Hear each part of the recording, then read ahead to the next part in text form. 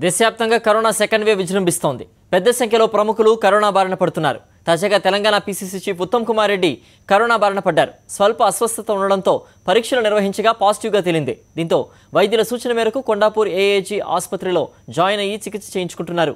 ఉత్తమ్కు ఊపిరితిత్తుల్లో infection ఉన్నట్లు వైద్యులు గుర్తించినట్టు సమాచారం.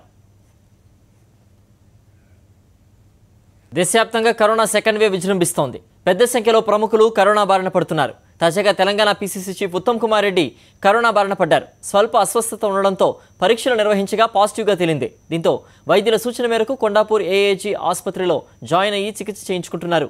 ఉత్తమ్కు ఊపిరితిత్తుల్లో ఇన్ఫెక్షన్ ఉన్నట్లు వైద్యులు గుర్తించినట్టు సమాచారం.